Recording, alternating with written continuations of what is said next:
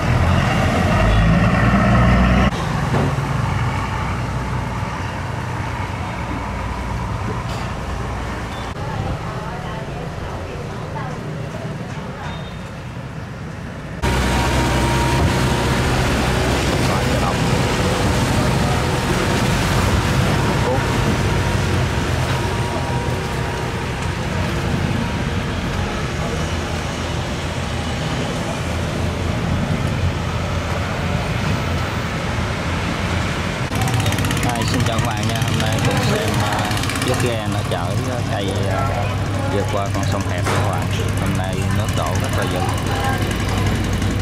Chạy ờ, muốn không lên luôn các bạn.